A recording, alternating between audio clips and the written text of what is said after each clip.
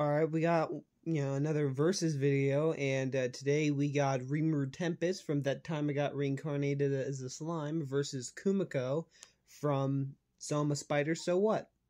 The connections between the two of these, like they they make sense. Both of them, when they were reincarnated, showed up in a dungeon.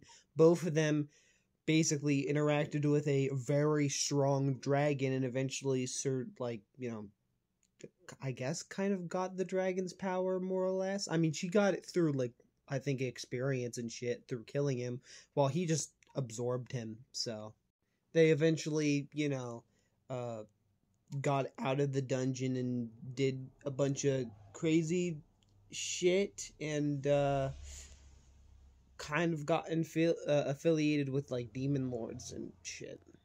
But anyway, anyway, uh, let's first talk about Rimuru. So Rimuru has a bunch of shit. I'm just gonna go over all of his abilities and like if anything seems interesting, I'll just talk about it. So here's his first ability, which is Azathoth, or the unification of or Raphael and Beelzebub, which is two of his previous abilities that he's had before this one. Uh, with the integration of Veldora and that person, who I don't really remember who they are, but you know, whatever uh, what it can generally do. It's got Soul Gluttony, a uh, super enhanced version of Predation uh, Gluttony, which uh, can devour the target's soul, ignoring space time. I don't know why space time is needed, but it can ignore it, so that's that's cool. Imaginary collapse, the ultimate destructive energy that fills uh, imaginary space and is able to be used uh, at full efficiency with the assistance of Ciel. So you can control an imaginary space. What the fuck? Already, it's pretty insane, but like we got a shit ton more, so get ready. Imaginary space. So that's what they were talking about. A chaos world, the ultra evolved version of stomach or isolation uh, with unlimited size. So it's infinite. So that's that's interesting. Uh, it's a prison where those who need to be quarantined are locked up. Uh, basically, uh, if he absorbs you, you get thrown in here, and you're probably not going to get out. So that's that's cool. True Dragon release, uh, a variant of parallel existence that allows for Veldora and them, uh, as well as uh, the power to exist simultaneously assimilated with Rimuru and active in the outside world. So that that's cool. Uh, when activated, a another body of Veldor slash and or uh, Veldgrid, I, I tried to say it, uh, is created and all of Rimuru's energy that would have otherwise belonged to them is loaned back. Uh, it can be undone with the respective True Dragon's uh, consent, and after doing so, all of their energy will return to Rimuru. Uh, next one is um, True Dragon Nucleation, I think that's what that says. Uh, if Veldora and slash or Vel, Velgrid, I still don't know how to say that name. Um, uh, if their energy is not currently lent by True Dragon release, uh, it can instead be materialized in the form of a sphere, spherical core. That's what that said. I, am sorry, I couldn't read that with the uh, the button.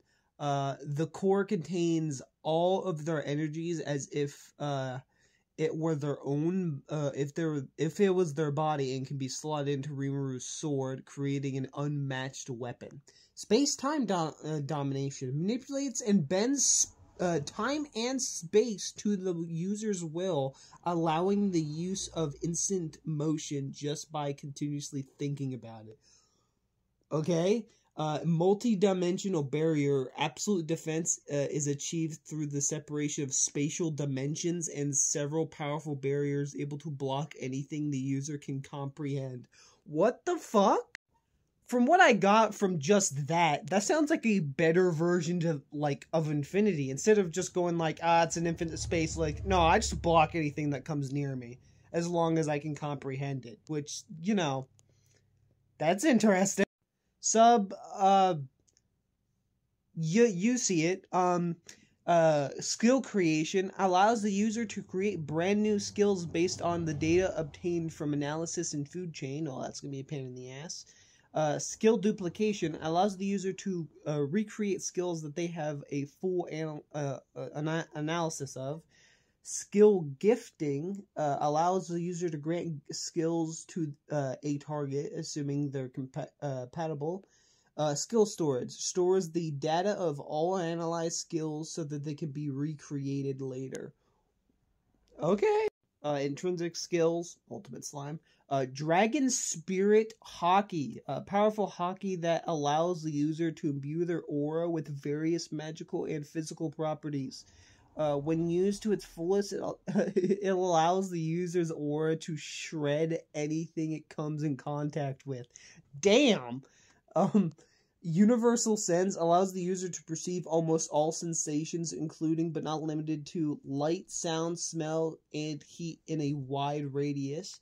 Uh, universal shapeshift allows the user to freely change their bodily properties and disguise their appearance. Interesting. Uh, these are his tolerances, which abnormal condition nullification. So any abnormal conditions that he uh, is put onto him, like poison, I guess for, is a good example. It like it won't affect him. Uh, holy slash or holy demonic attack resistance. So he's resistant to that stuff uh, natural mu- uh, natural effects uh, nullification. I don't necessarily know what that means, but it's just he's nullified to natural effects, I guess, in in nature, I guess. Uh, pain nullification, he can't feel pain. Uh, physical attack nullification, so physical attacks basically won't work. Spiritual attack nullification, so you can't even attack his spirit. Damn. I'm pretty sure these are his uh, moves, or basically. Uh, Aura Slash, uh, one of the most basic but also most deadly attacks within uh, Battle Will's arsenal. Uh, the user launches their aura outwards uh, from their weapon as a projectile. Uh, the u- or aura sword. The user coats their weapon in uh, aura using uh, battle will. This body or boosts the weapon's durability and damage potential drastically. Um, form hide allows the user to hide their presence and form. Uh, haze, form hide pushed uh, to its absolute limit. Uh, the art works in stages. First, you rid yourself of any sound, then wipe away any smell and disguise your temperature, before finally wiping away your aura and spirit. Uh, the end result uh, makes the user undetectable uh, to things such as like magic sense. Uh, the other is to you know, he, he is com- basically completely undetectable even by stuff that can just sense magic in your your spirit even.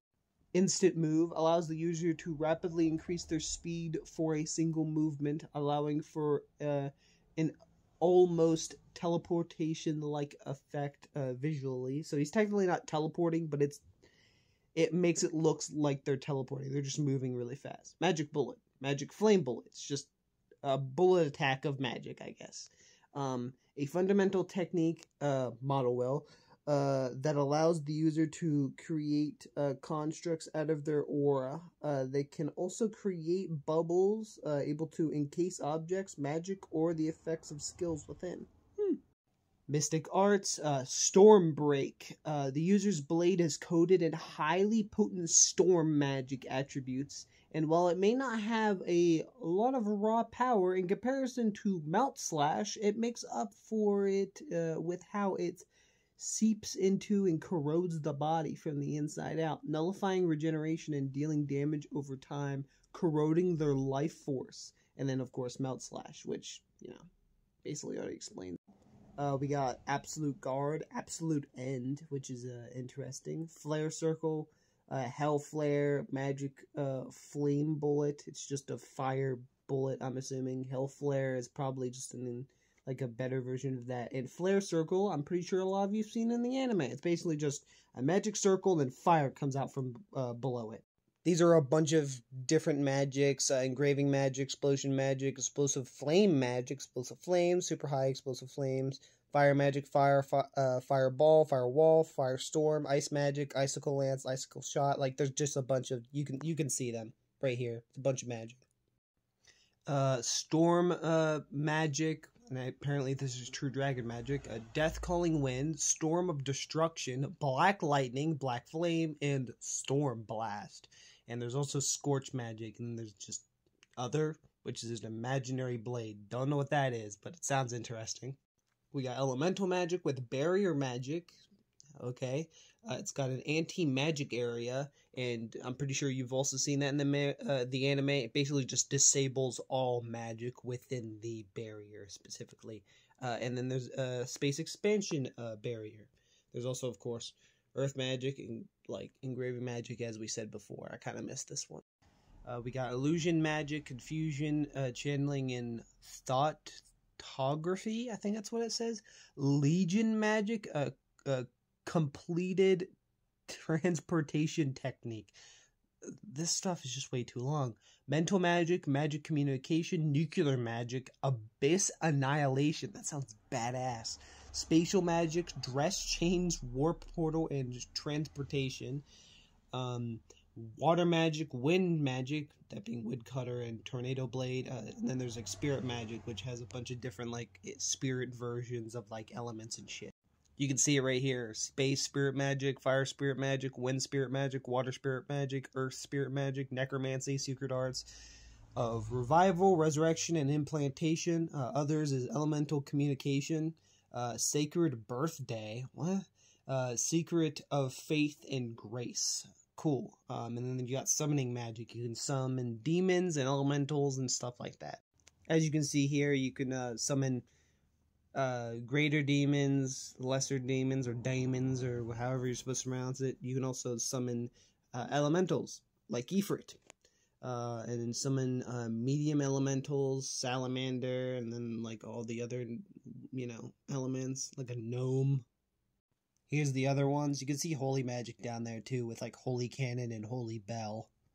Right here, and other ones that we have is uh, holy field and prison field uh, you got miracles, I'm assuming. Uh, disintegration, holy ray, and resurrection.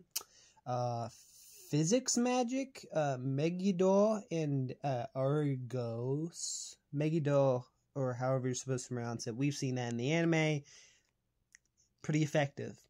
Master Swordsman, Rimuru is a master swordsman trained by uh, Kaguru, I, I don't know how to say his name, and further refines uh, their technique in the fight with Hinata. Uh, Rimuru is able to completely overwhelm Yuki with pure skill. Uh, their weapon of choice is a katana. Uh, special soul. Rimuru has an extraordinary strong soul, being able to hold multiple powerful ultimate skills and reincarnating into a magical body while also retaining all of their memories. Hmm. Then we got Ciel. We talked of, or seen that previously. Uh, Ciel prevents Rimuru's deep psyche from being interfered with, which blocks attempts to read their mind or memories, even by beings such as true dragons. So basically, you can't mind fuck him, so that's cool. Um, in the events of uh, game's end, CL obtained a significant amount of skills that would have otherwise been re- uh, I think, in Rimuru's possession in order to increase the reaction time when uh, using them in emergency situations. Due to the complete uh, in, uh, integr or that word uh, of their cores, uh, Rimuru can still access and use their skills at will without having to create new coffee copies. Uh, we got all creation, alteration, analytical appraisal, uh, attribute uh, conversion, chant annulment, food chain, future attack pre- uh, prediction, law domination, future attack prediction. Um, did I say law domination? Well, there it is again. Uh, parallel operation, syn- uh, synthesis slash separation, thought acceleration, and thought domination. So yeah, this should be his equipment, which is Drago Blade, uh, God grade Kyokuto. I think that's how you say it. Uh, Kurobe's masterpiece. It has no uh, inherent special abilities in exchange for being uh, exceptionally durable, but uh, has two slots where blade cores can be inserted. Uh, blade or black robe, uh, god grade armor created with material material creation, anti magic mask, uh, magic item suppresses magicules, uh, Demon's Ring, magic item, standard equipment in uh, the Octagram created by Velzegard, I think that's how you say that, allows for cross space time communication with other demon lords. And just in case you wanted to know what those other abilities uh, do, this is all creation. It allows the user to comprehend anything as long as they have a basic understanding of it and is perceivable to the user. Then we got the next one, which allows the user to analyze and appraise all targets. Uh, the analytical prowess of this skill depends on the user. A different user gains more information with uh, different means, i.e., sight, touch, consumption. However, most users can gain information with uh, multiple approaches. The amount of information the uh, acquire or uh, acquired also uh, depends on the knowledge the user has about the target's concept uh, i.e., a blacksmith could gather more information on a sword than the average people. Chant annulment, uh, it eliminates uh, the need for chanting when using magic. Uh, after a spell is analyzed or successfully cast, the spell is stored in the user's mind and available to be cast just by thinking about activation. Law domination, uh, it is the enhanced version of law manipulation, allowing for uh, potentially absolute control over the laws of the world uh, from either a magical or scientific perspective. Uh, from uh, five base uh, elements of earth, water, fire, wind, and space down to the properties of gravity, heat, inertia, etc. Uh, the, the effectiveness still depends on the user's ability and knowledge. as you can see, like you know up there allows uh, the user to detach their uh, anal- uh, analysis of phenomena from their regular thought. Since the uh you know this is degenerate uh, has two uh, effects synthesis transform two different targets into a single object can be used to chain the effect of several skills together earning the user new skills with significantly less effort than would otherwise be required. Separation releases the properties inherent to the target and separates them. Example uh, include uh, but are not limited to depriving a person of skills, uh, a skill or with skills, uh, with the exception of one bound to their soul, and removing foreign objects such as entities, uh, you know, uh, you know, possession or like just toxins within the body. We got thought acceleration, which uh, is it significantly increases the user's thought process speed. Uh, the acceleration varies uh, from a few hundred times to millions or even hundreds of million times, depending on the individual. And thought domination uh, allows for the manipulation of others' uh, uh, thoughts and ensure they're following uh, they follow orders. This can range from subtle manipulation to full control over the targets. Going over, you know, stats, um, he is at multiversal level. So he is multiversal as shown here. You can see like the you know all the stuff that he scales to, like right here. And of course, so you can see uh, he's somewhere around massively faster than light, but he can go to infinite speed, uh, superior to Veldanava, who was the source of time itself on a conceptual level, able to instantaneously reach any location with his will alone. Uh, so yeah, he can just have infinite speed. So yeah. Uh, going into Kumoko's stuff, uh, she was at first born as a lesser uh, Taratect, uh, the lowest difficulty monster, which is interesting. Due to her low stats, she was uh, initially forced to rely on her human and you know uh, integrity and creative use of her limited moveset just to survive. However, Taratect's jump in power with each evolution, causing her uh, continuous struggles for uh, survival, gradually turned her into not just the strongest reincarnation, but one of the most powerful beings on the planet. Furthermore, while most of her kind uh, rely solely on size, brute, uh, brute strength, uh, or and brute strength, uh, she adopted a fighting style focused on magic, webs, and agility. Uh, we got her scythe, uh, a weapon built from uh, one of Kumoko's, you know, scythe-like limbs. Uh, when she was a arachne, Uh, a piece of Kumoko's soul seems to have bonded itself to it, though the parallel mind skill created a new mind to fill in the absent spot left by the mind that merged with Ariel, uh, causing it to constantly emit a dark aura, uh, be uh, be able to cut through anti magic constructs, uh, process automatic growth properties, and be um, completely indestructible within the confines of the system. And there's uh, the stats apparently of it uh, and the traits uh, automatic repair rod attribute and dark attribute titles and skills. Uh, her bonus skill uh, as a reincarnation it boosts her speed stat and its growth. Moreover unlike most reincarnation bonuses it's not a unique skill but a high tier one that anyone can obtain. And then we got that, which I don't even know what that is. A unique skill shared by all reincarnation. It restores her HP, MP, and SP upon leveling up. However, there is a limit to how much one particularly recovering uh, inner stats became like too high. Appraisal allows her to see the target's information while only giving the name on lower levels. Uh, on higher levels, it also reveals the target's uh, status, values, titles, and skills. Uh, wisdom, the evolution of appraisal created by D.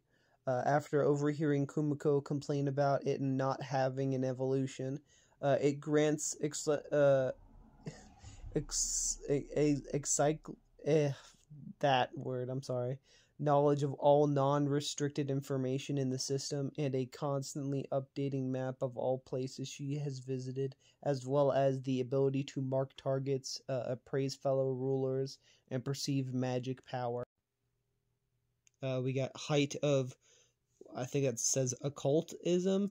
Uh, granted with wisdom allows her to cast uh, magic without having, you know, the uh, skill and add uh, MP you know, to increase its power. We got Heretic Magic, gained when uh, she cannibalized a Taratect's corpse, but unable to use it until she acquired Height of Occultism. Uh, it allows her to create illusions. Dark Magic allows her to summon and control darkness. Spatial Magic allows her to create portals and teleport herself to previous visited locations. Earth Magic, copied uh, from Earth Dragon Araba, allows her to control the earth. Wind magic, copied from a that, allows her to control the air.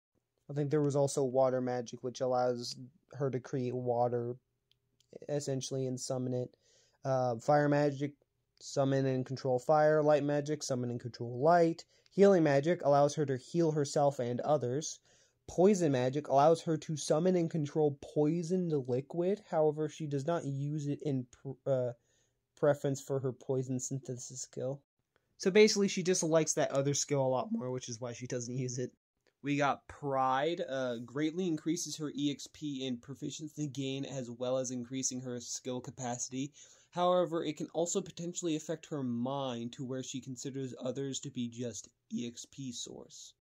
Abyss Magic uh, allows her to convert uh, everything in its radius to MA energy. Um, and give it to the system. However, it is initially difficult magic power to use, so uh, very few beings, including Kumoko, are said to have wielded it. Uh, pers- perseverance allows her to use her MP and HP once a ladder runs out. Uh, basically, uh, if she runs out of HP, uh, um, she can use MP instead uh, to, you know, so she doesn't fucking die as soon as her HP runs low. Evil Eyes, uh, gained with Perseverance, allows her to inflict ailments t- uh, to her targets just by looking at them.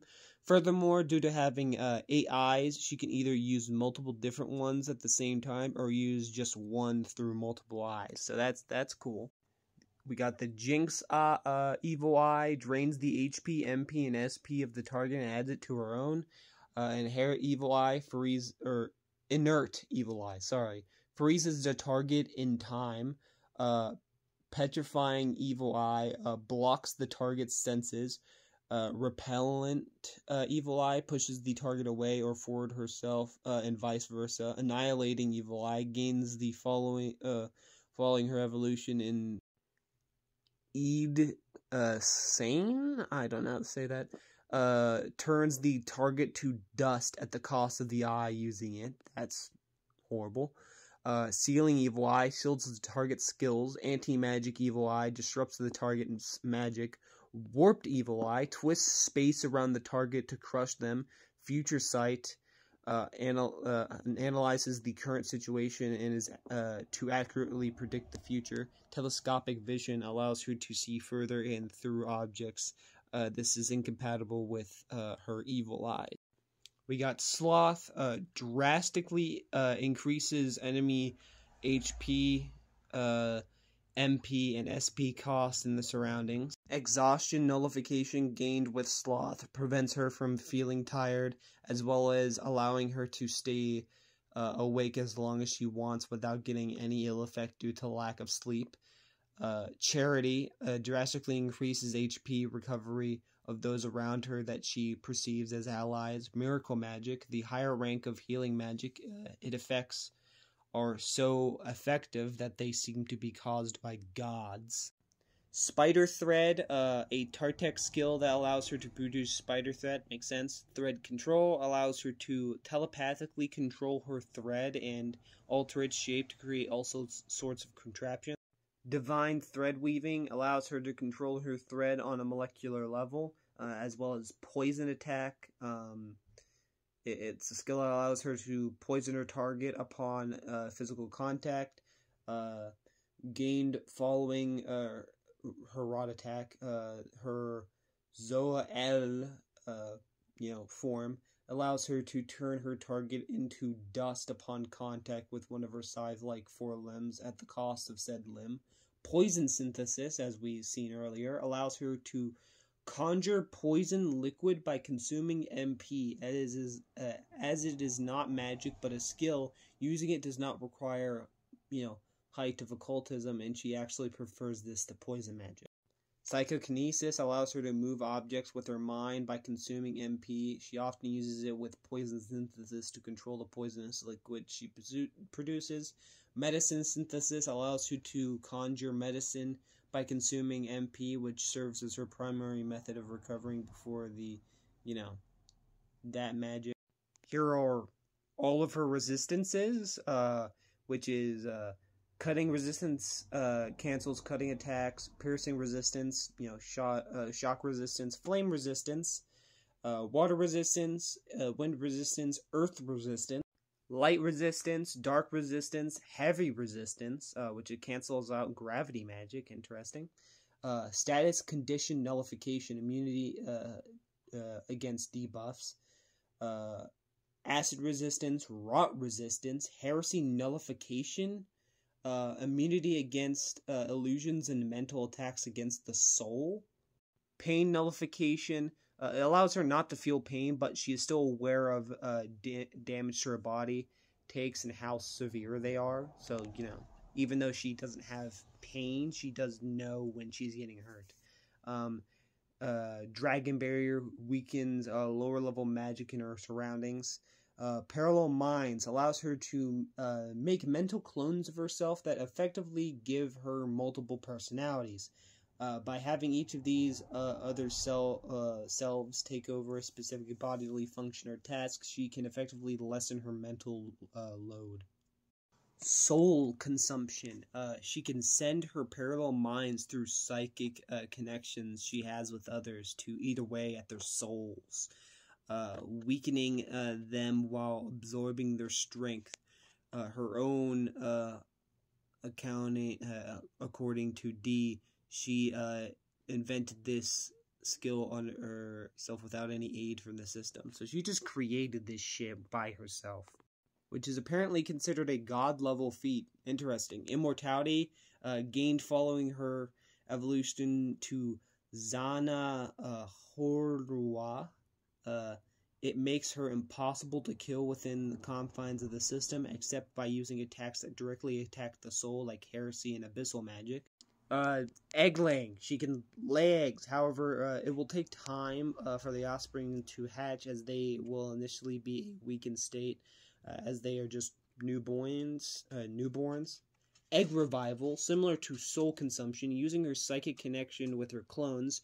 Uh, she can move her soul into an egg and take over her newborn offspring's body, uh, as it did not have a soul as of its own yet. However, after being reborn, she will initially be uh, an awakened state of her body will be that of an uh, infinite. Going over to attack potency, uh, her best you know attack potency like feats is multi-continental level, uh, wields the energy of MA bomb and is stated to be powerful enough to destroy continents. Speed, she is at best hypersonic, uh, all the way down here, um, with you know all this, you know, all this other shit here. Um, but yeah, yeah. So based off of all of that, um, who really wins in a fight? So both of them basically have resistances to pretty much all magic. Although the heresy magic might be a big deal for Rimuru since he doesn't have anything similar to that in his world, but he also can nullify, you know, uh, status conditions, so they probably won't really be that big of a deal. Rimuru does have anti magic barriers, so she wouldn't be able to use her magic, but she can just break it with her scythe, which can just break anti magic anyways. So, yeah. And even though if she tries to do the whole mental or uh, soul consumption thing, uh, yeah, it's probably not going to work with things like Ciel and him just having an immunity to soul attacks. So, sh- nothing would go anywhere with that. So many of their abilities pretty much cancel out each other, but with one small little problem. To my knowledge, um, Rimuru between these two is the only one that can completely manipulate time. As in, not only can he time travel, he can stop time, manipulate even space for that matter. She kind of can, but like not to the extent he can. And don't get me started on their stats. She is at best hypersonic and just multi-continental, while he is multiversal level and has infinite speed yeah, I might be like missing stuff with either of them, but based off of what we've seen, you know, off of that stuff, I would probably lean towards Rimuru winning this one. Alright, did I miss something? I probably did with these two. They have so many goddamn abilities that it's just hard to keep track of all of them. I probably even missed some things while reading it because there's just so many. But you know, if I did and it could have changed the outcome, you can tell me in the comments. I'm basically just doing this for fun, anyways. I'm not taking a serious note into this. I'm just, you know, going two characters and seeing who probably would win. Also, uh, subscribe uh, if you like, you know, this stuff. I'm gonna keep making these until I don't know. I'll, I'll just keep making them because I like doing them. Uh, but uh, like the video as well uh, if you you know like the video i guess. Um, and next video is going to be an interesting uh, one since um, i guess the two combatants do have a sort of control over other people